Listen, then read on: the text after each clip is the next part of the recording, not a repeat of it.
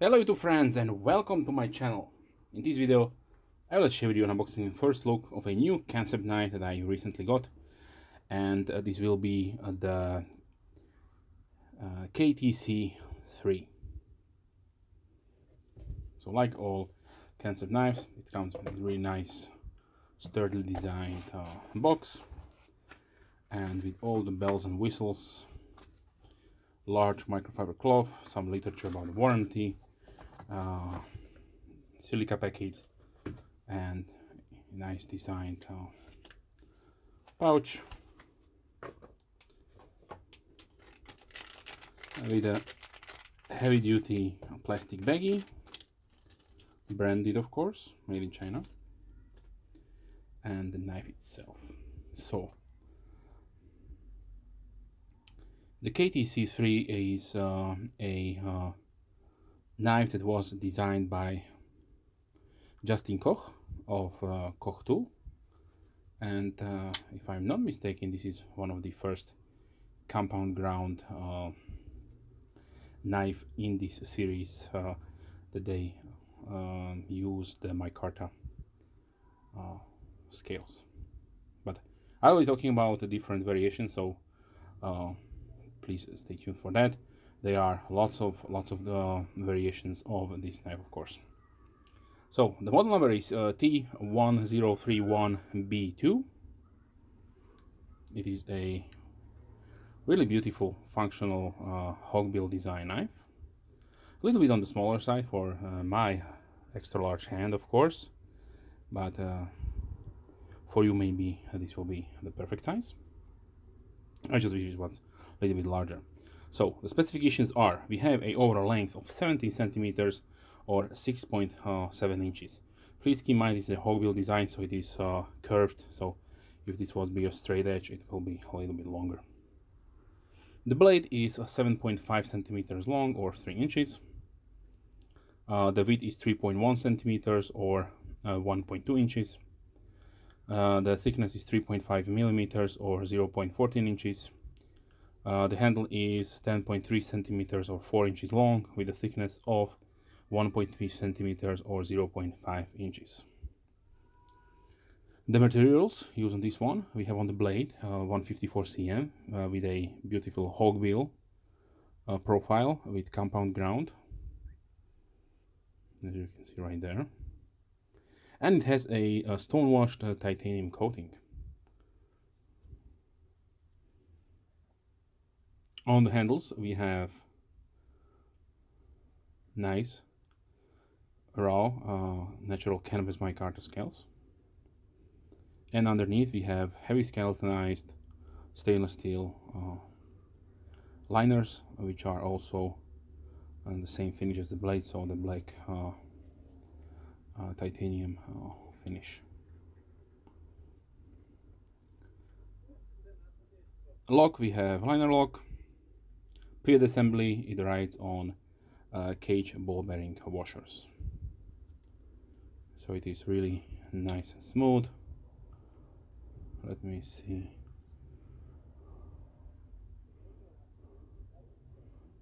Nice centering and really nice opening of course. Blade play, none whatsoever up or down. For opening, as you can see there, we have we have only flipper, but it can be also opened uh, via these two nice large grooves. Maybe also finger flick.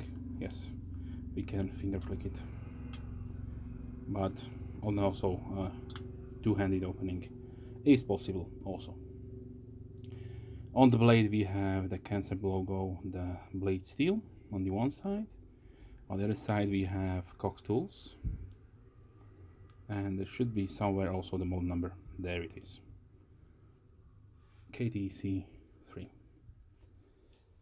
for the pocket clip uh, they designed a 3D milled really nice looking pocket clip with this half ball spherical shaped and we have medium to light uh, stiffness or tension Okay, let's see the uh, pocket profile really quickly.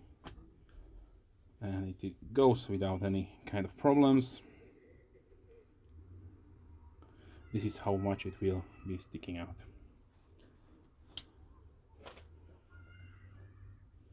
Okay let's see the sharpness out of the box. Yeah. It is sharp but it could use a little bit of stropping like most of the knives uh, do. Like I mentioned, the scales are canvas, natural canvas micarta, so these are uh, not heat uh, not heat treated. they are not um, uh, treated with any kind of oil or buffing compound. So it is up to you if you like to darken them up. Uh, if not, then just by uh, carry they will darken on you a little bit more. As far as uh, comparisons I brought out a few uh, Kansept knives that have different uh, micartas on it. This one is a natural brown natural style uh, by my opinion it is a little bit uh, treated with some some kind of probably uh, buffing compound here is the same micarta which is pristine. Uh, this is a little bit stained by probably handling and uh, a little bit of oils seeping out through the uh, pivot assembly right there. And here is another version of the older micarta they used in the past.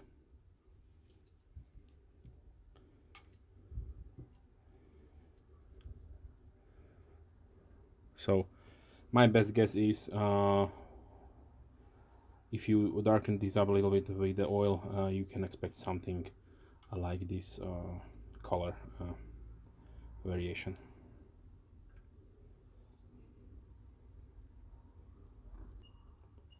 Okay as far as weight goes um, the knife weighs 102 grams or 3.6 ounces. Like I mentioned uh, uh, you have quite a few variations you can choose from so the uh, this variant uh, here on the table costs uh, $89 uh, something in the similar price point uh, uh, also in euros. And you can choose from there is a, a dark green G10 also black micarta dark blue orange G10 then we have a lightning titanium anodization also a nice rich black titanium anodization then you have a uh, bead blasted titanium finish. The titanium ones cost around nine uh, 190 dollars. And uh, you can also choose from a blue and green uh, titanium anodization and a uh, variant which is the high-end version of this knife that will cost you around uh, uh, for 50 in my opinion uh, this micarta is uh, what speaks to me. And uh, also the price is really uh, really right. Uh, keeping this under uh, the 100 dollar price point with 154 cm is is a really good thing that they do I will certainly would like to see them uh, a little bit less, uh, maybe around uh, 69 to 70 dollars. But uh, let's face it, with the inflation, everything going on, uh, this is a this is excellent uh, excellent price point for these sorts of beautiful custom design in a production package. Okay, so now let's see a few size comparisons. let me bring out a couple of knives. So the late, latest uh, hawkbill knife that I got for my collection uh, was this from uh, Beyond EDC. Uh, unfortunately, uh, I do not recollect the name, so sorry about that. Uh, but this is a Dirk Pinkerton uh, design. As you can see there, they are sort of a little bit of the same size okay so now let's continue with some other knives. So here is the QSP Penguin. Uh, sorry uh, Civivi Elementum. Here is the QSP Penguin.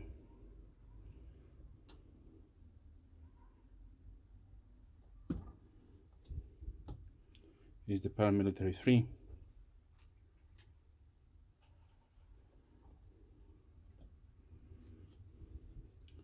Kershaw bug out Pilar 1 from CRKT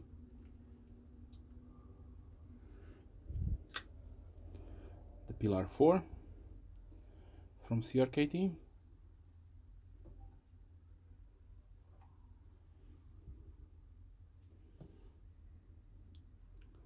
small Griptilian from Benchmade.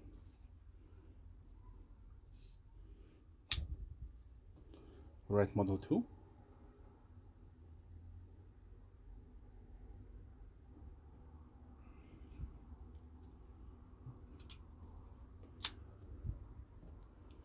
The Kizer Big Lighter 2.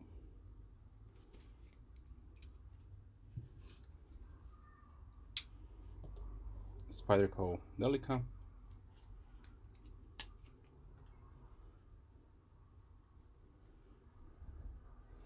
Bug vintage select small.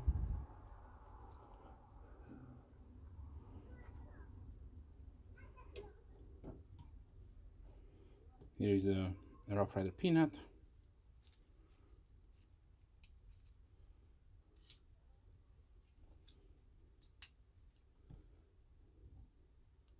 Nine forty from Benchmade.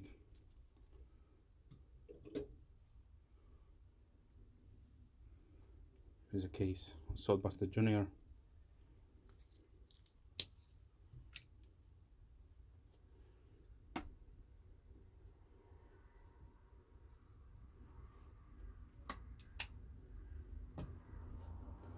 Ace Grand from Giant Mouse.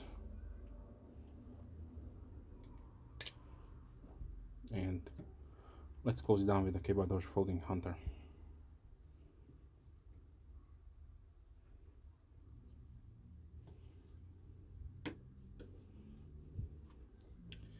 Okay so let me give you one more uh, detailed look on the blade.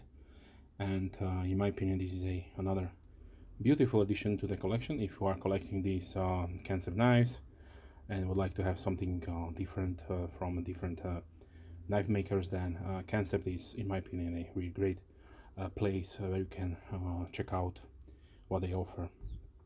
They have some really different designs and also at a good uh, price point. I hope this will stay uh, as it is and uh, also in the future.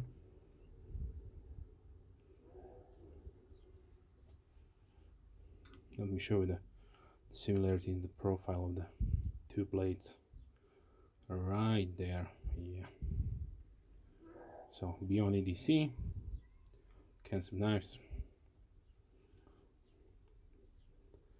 and this was the Kansept knives uh, KTC3 uh, maybe there will be a KTC4 or maybe other numbering uh, which uh, will have a larger uh, variant. I I will be looking forward to get those. So if you have any questions please comment down below.